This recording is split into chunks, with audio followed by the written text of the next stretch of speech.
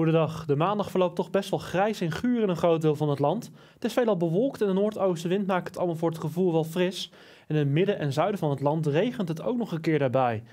Ja, het is niet echt heel vrij weer vandaag, maar ik heb toch wel goed nieuws, want later deze week gaan we dit soort beelden zien, net als gisteren. Het wordt allemaal een stuk beter en vriendelijker.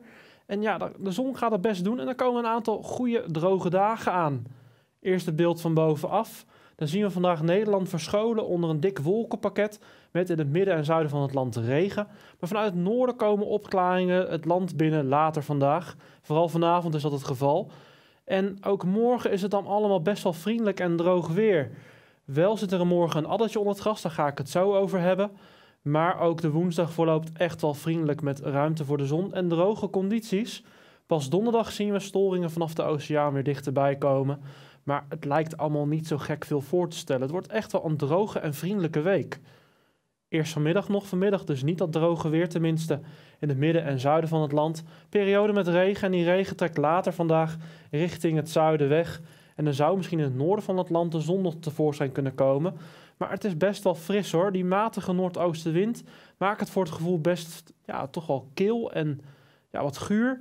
En de maximum temperatuur komt uit tussen 7 graden in het noorden en 5 in het zuiden. En dat is toch alweer even andersom. Want normaal zien we die hoge temperaturen juist in het zuiden van het land. Vanavond trekt dus die regen helemaal weg naar België.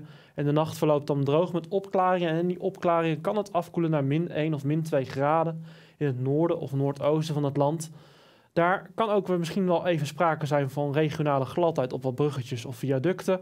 Maar het is allemaal dus lokaal. En elders blijft de temperatuur net iets wel boven het vriespunt. Morgenochtend kan de dag dan ook best wel eens grijs van start gaan. Tenminste in het oosten en noordoosten van het land. Daar waarschijnlijk veel lage wolkenvelden. Elders misschien al wel gelijk die zon erbij. En in de middag is het dus vriendelijk weer. Met een afwisseling van veel zon, maar ook een paar wolkenvelden.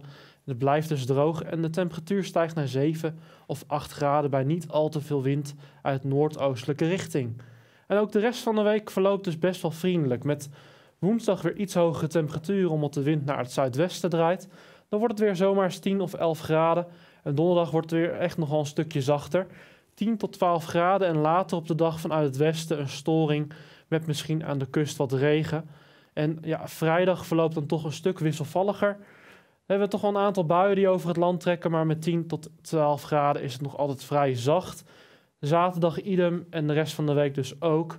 En als we kijken naar de pluimverwachting, dan zien we dus dat zachtere weer ook terug. En vooral zondag of maandag mogelijk iets hogere temperaturen. Er zit nog wel behoorlijk wat spreiding in.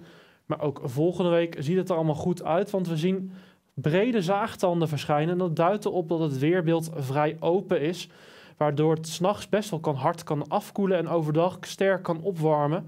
En ook in de neerslagkansen zien we dat terug. Vrijdag en zaterdag waarschijnlijk toch nog wel ja, wisselvallig en deels nat. Maar na, na het weekend zien we toch wel afnemende neerslagkansen. En dan ziet het er naar uit dat het misschien best wel eens mooi lenteweer kan worden. Maar goed, het is nog even weg.